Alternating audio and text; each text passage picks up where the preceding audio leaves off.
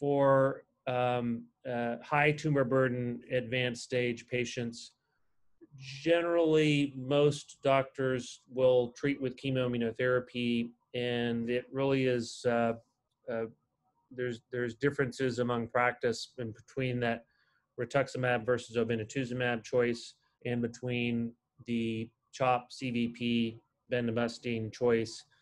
My personal practice has been to be influenced by the Gallium study, which demonstrated that obinutuzumab appears to be achieving better progression-free survival compared with rituximab when combined with any of those three chemotherapy regimens.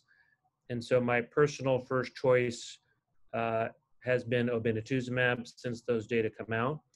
That said, that that choice puts me in the minority. I think we know that probably more doctors in the country are choosing rituximab over obinutuzumab, and that's okay. That's because there's you know there's no known survival advantage to obinutuzumab over rituximab.